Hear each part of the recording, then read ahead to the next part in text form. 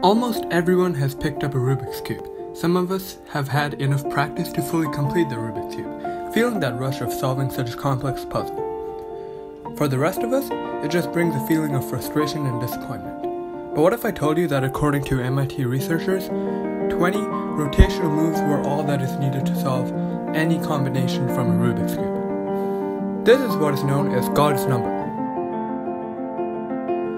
But most speedcubers, those who solve for time, are making about 60 rotational moves. So where does this number come from? And how can you figure out how to solve a Rubik's Cube in 20 moves? Let's really understand the immense difficulty.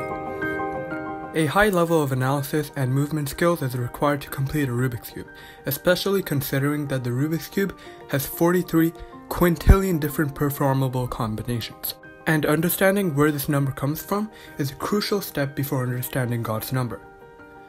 The number 43 quintillion represents the number of possible scrambles on a Rubik's Cube. But instead of scrambles, think of that number as 43 quintillion permutations and combinations, meaning the number of ways the colors can be combined and permuted. So let's look at the cube itself. There are 12 edges and those positions can be occupied by any of the edge colors. So mathematically, there are 12 factorial ways in which the edges can be combined and permuted, or in simple words, arranged.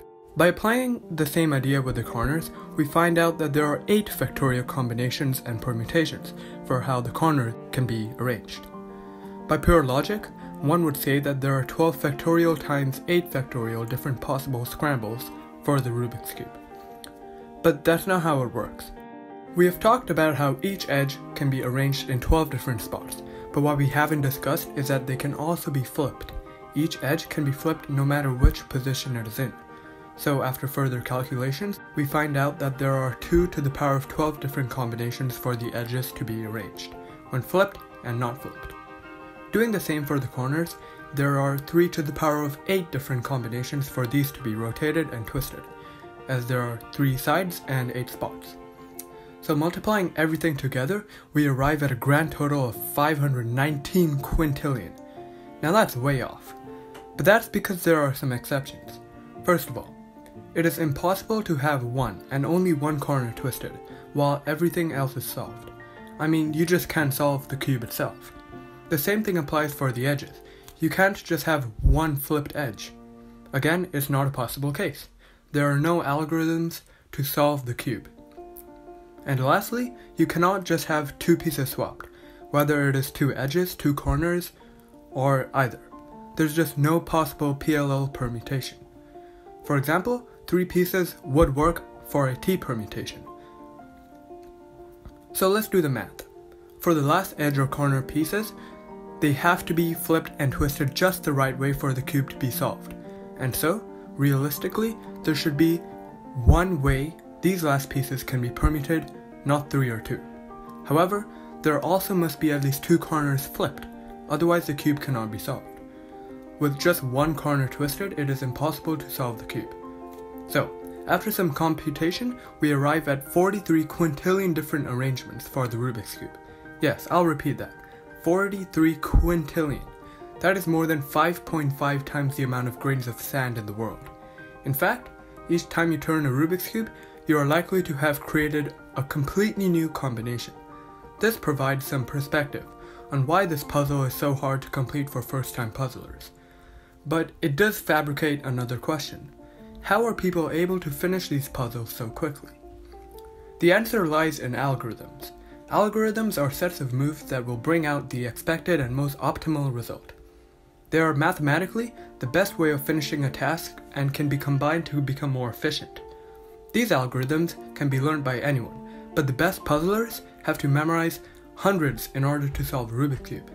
As for me, I've memorized 80 algorithms just to solve the last layer of the Rubik's Cube, and thus my average times have increased significantly. This method is seemingly more effective as it takes away more from the guesswork, resulting in less delay and quicker times, just like the world record of 3.47 seconds. So, mathematical proving done on to some real talk. God's number is the minimum number of rotations to complete any given scramble of a Rubik's Cube. Any of those 43 quintillion scrambles we just proved.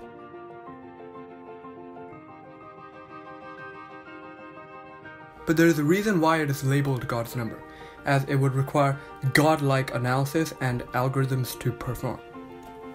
The number 20 also only covers 0.00 0.000001% of scrambles, which means that most can be performed under 20 moves.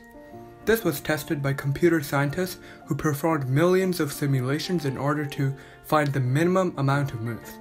It was estimated to be at least 30 not long ago, but that estimation has started to reduce as time goes on. So why can't people do it? Why can't we solve it under 20 moves? Unfortunately, people are not computers, and being able to analyze every single factor of a Rubik's Cube is an impossible task. The world record for the least amount of moves sits at 20, which does touch God's number but still falls short of computers. So even though the maximum moves to solve any scramble on a Rubik's Cube is at most 20 movements, it is unlikely that any of us will be achieving that level of analysis and solving skills. But with enough practice, anything is possible.